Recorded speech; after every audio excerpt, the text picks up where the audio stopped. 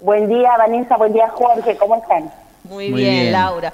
Nosotros sabemos que ustedes, además del todo el trabajo social que es muy fuerte que realizan en la provincia, también hacen un trabajo respecto a eh, la suba de precios, la suba de los bienes aquí en San Juan. Eh, ¿Qué sensación te da este índice del 1,6% en julio? Que fue está por debajo de lo que midió la Nación, ¿no? 1,9%. Y bueno, es, muy discutible. Eh, ya cuando el INDEC, eh, nosotros decíamos esto, eh, que no entendemos cuál es la intencionalidad de decir eh, que los productos de la canasta en general no aumentan si nosotros cuando vamos a comprar nos topamos con esta realidad. a nosotros nos ha dado el 5,7% en alimentos y que no es la carencia básica alimentaria lo que estamos midiendo desde marzo, sino eh, alimentos de consumo eh, diario de los hogares, porque hemos sacado algunos ítems que creemos que, ver, en estos momentos en particular, eh, no es tan importante medirlos y hemos agregado otros que, que sí consideramos que hay que hacerle un seguimiento, como es el tema de más carne, eh, más frutas y verduras a eh, esta, esta nueva medición que nosotros realizamos. Y bueno, y en esto nos hemos encontrado con aumentos del 5,7%, donde aumentaron muchísimo eh, algunas frutas y verduras, en donde hubo aumento considerable en lo que es aceite, eh, en leche, en menos proporción, pero también aumentó.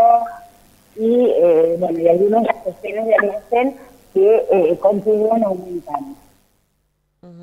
Laura, ¿y ustedes estimaron cuánto necesita un sanjuanino para cubrir esta canasta de, alimentos? En alimentos principalmente, eh, nosotros hemos estado sacando alrededor de 25 mil pesos. Solo en alimentos solo en alimentos, eh, alimentos de alimentaria em, que, no es la canasta que propiamente del INDEC. Ustedes recuerdan que cuando nosotros estuvimos incluso ahí habíamos comentado que estábamos trabajando en una canasta diferente con la gente del, del INTA, del PAS, especialmente porque la del INDEC eh, no es una canasta saludable. Bueno, esa canasta, que sí contiene productos que son saludables y necesarios, rondaría alrededor de los 25 mil. Y la canasta básica, sí. con, eh, con, la canasta básica total, eh, superó los 51 mil pesos y con alquileres 64. Alquileres y un día de recreación. Claro. Eh, ya, ya solo de pensar que se tiene que gastar 25 mil pesos en alimento para una familia tipo, más o menos, ¿no? Hablamos de cuatro, personas, Dos adultos y dos chicos. Eh, Imagínate los, los salarios en San Juan están, digamos, muy jugados, ¿no? para, cubrir eso. Exacto. Entonces, ¿cómo hace el San Juanino? claro, hasta los mismos números del INDEC, que en estos últimos meses eh, no ha pasado mediciones de, cercanas a la realidad, por nombrarlo de alguna forma, hablan de una canasta eh, total de 46. Teniendo en cuenta esa canasta y no lo que estamos diciendo nosotros, y bueno, nos encontramos con una población eh, muy empobrecida, por eso que nosotros decimos que estamos cercano al 60% de la, de la población bajo los niveles de pobreza porque no llegan a cubrir ni siquiera esto que dice el inglés que es de 46 mil pesos.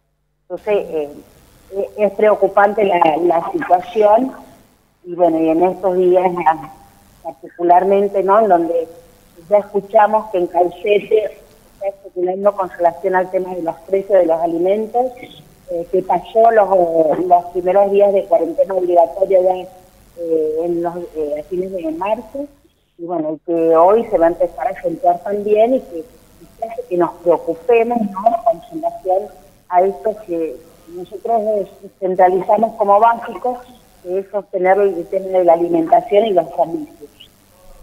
Claro, sí. A ver, Laura, ¿cómo si hacemos un análisis más fino, los números que te muestra la placa que compartíamos recién no se compara con lo que vos encontrás en las góndolas?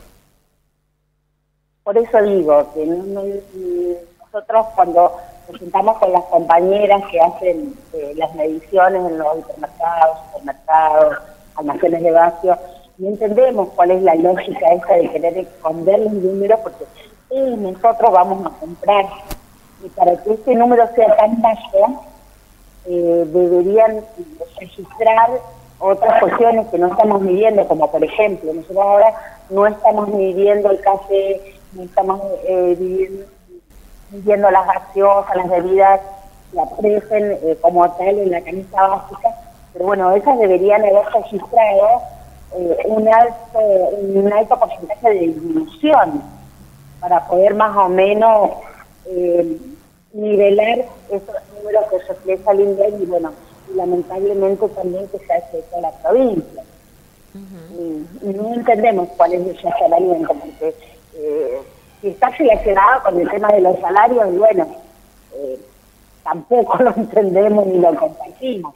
Tendrían que ser números eh, basados en una realidad que vivimos, en donde cada vez se nos hace más difícil comprar alimentos y por eso es necesario que eh, eh activen políticas económicas relacionadas con, con el tema de los precios a nivel nacional y también acá en la provincia, lo que nosotros hemos visto la necesidad de usar mucho en relación al tema de la producción de alimentos y la industrialización de los mismos, pero no decía tres o cuatro meses, ya ayer se cumplió haber hecho eso, y más con la situación de pandemia que se complica en el país. Laura, eh, yo sé que vos, como decíamos anteriormente, tenés un, trabajo social muy importante a partir de, de amas de casa. Y hay algo que estuvo planteando también el ministro de Desarrollo Social de la Nación, Daniel Arroyo, en cuanto a cómo había bajado la calidad de los alimentos que se, se consumían. ¿Esto vos, vos lo ves a diario en el trabajo que ustedes hacen? Eh, ¿cómo, ¿Cómo notan que han variado los hábitos de consumo de los sanjuaninos en base a que por allí no, no cuentan con el dinero para hacer frente a no solamente la, calidad, sino también la cantidad. Bueno, esto ya ha profundizado, porque nosotros ya lo veníamos denunciando, cómo la gente acude a los carbohidratos para eh, poder ordenar la panza y que eso en, definitiva no termine de eh, nutrirnos. Y también cómo la calidad de los productos ha ido disminuyendo. Por eso nosotros eh, el énfasis principal eh, que hemos hecho desde marzo a la fecha con relación al tema del consumo de, de verduras, eh, y de frutas, que eh, las frutas principalmente, al igual que los lácteos, han desaparecido directamente del consumo de las familias, porque eh, bueno, por el precio, básicamente, ¿no? Entonces, en eso hemos, visto más deficiente la calidad alimentaria. Y bueno, ya nosotros que nos tocan los comedores y merenderos, bien, ¿no? Como aumentado la cantidad de personas y en nuestro caso disminuido la cantidad de recursos. Entonces eso nos hace eh, mucho más difícil eh, poder llevar una comida saludable a, los lugares, ¿no?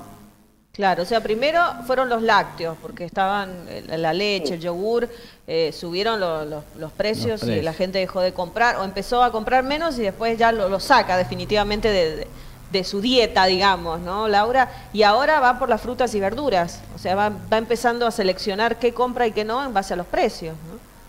Eh, sí, con relación a, los lácteos, primero de de calidad, empezó a comprar segundas y terceras marcas, y después, como bien dices, eh, empezó a desaparecer directamente la, compra de estos productos.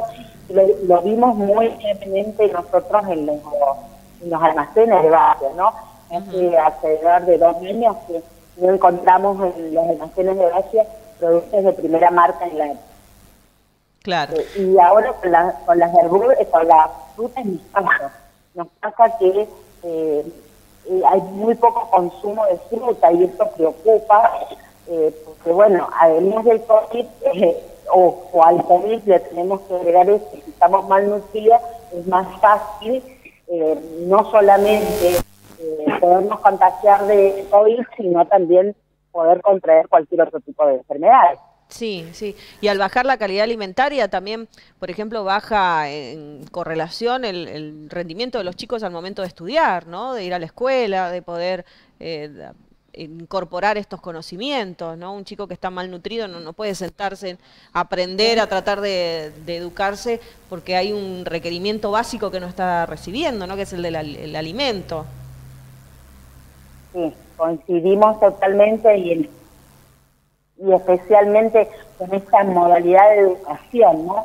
que sugiere que eh, los niños y los jóvenes eh, tengan más de su parte para poder eh, a tener los conocimientos que eh, se permiten a través de, Internet.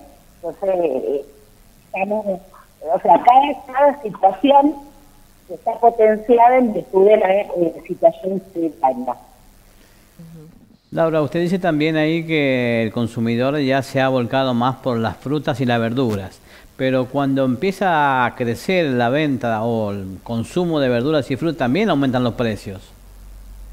¿Cómo hacemos? Nosotros, decimos, lo que nosotros decimos es que nosotros estamos midiendo más y estamos poniendo un enfoque particular porque es lo que la gente debe lo que está comiendo.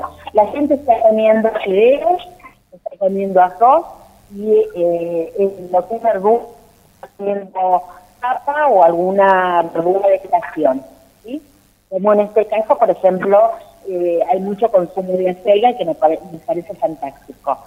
Eh, lo que hay que agarrar y apuntar es que la gente coma eso. Por eso yo decía recién que una de las principales cosas que llama en el acuerdo es la necesidad de la generación de la producción de alimentos.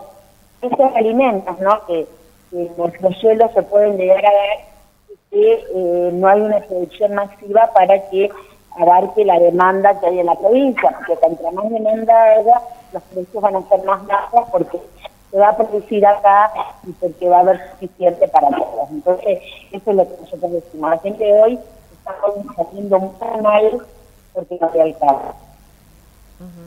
Y Laura, aquí me, acota un, oyente, dice que cómo no vas a bajar el consumo de frutas si un kilo de mandarinas está en 100 pesos, ¿no? Y, un kilo de manzanas en 130. Claro. Entonces, si uno tiene que eh, empezar a priorizar con qué paga el almuerzo de hoy, y bueno, lo, primero que sacamos de la lista es eso, ¿no? Exacto. Bueno, mientras que en otras épocas, eh, por ejemplo, la mandarina y la naranja, que frutas de, de estación claro. Eh, tenían muy bajo precio, como nos pasa a lo mejor en el verano con la uva, la ciruela y el durazno.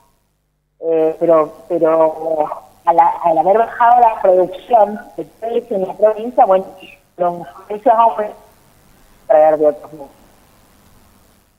Bien. Laura, ¿usted ha tenido la posibilidad de recorrer los pasillos de la feria de Capital? Eh, ¿Hay comparación con los precios que tienen allí con una verdulería de un barrio, por ejemplo? ¿Es, grande la diferencia que hay? Digo, para por ahí a lo mejor la gente se hace un esfuerzo más y puede llegar a la feria. A ver, eh, nosotros entre las dos ferias, el Vasco de San Juan, eh, ya notamos mucha diferencia. Mucha diferencia. En el sur los precios son más baratos entonces, eh, las personas que puedan llegar a la... No. también hemos notado que en, algunos departamentos se han montado pequeñas ferias que también eh, tienen los precios muy similares a la feria de capital. Entonces, eh, bueno, ahí eh, sabemos que muchas personas están acudiendo a comprar y con relación a la, a la verdulería, la carnicería. Eh, nosotros nos preocupamos los primeros días del aislamiento, básicamente a fines de marzo, primero el de los precios, pero ahora notamos que eh, cierto los obviamente no van a estar igual que en la herrería, pero tampoco hay tanta diferencia. Y nuevamente hay un abismo entre el almacenero eh, que vende frutas, verduras, carne, pan, con relación al hipermercado con, con esto de los precios en comparación. Bien, Laura. Bueno, eh, así está lamentablemente la, realidad en cuanto a la alimentación y el, poder adquisitivo de los sanjuaninos para poder hacer frente a los alimentos, ¿no? Y a los alimentos básicos, porque hablábamos recién de mandarina y naranja, que son los cítricos de estación y son los que te aportan por allí las vitaminas para poder enfrentar alguna enfermedad respiratoria, ¿no? Para poder tener por allí las defensas más altas en ese sentido, sí. Eh, por eso es importante también el consumo. Bueno, Laura, te agradecemos muchísimo la comunicación con Canal 35. Muchas gracias a ustedes y bueno, mucha fuerza a todos y muchos cuidados sobre todo para eh, poder empezar esta etapa que nos está tocando Bueno, muchas, gracias, Laura. Que tengas un buen día.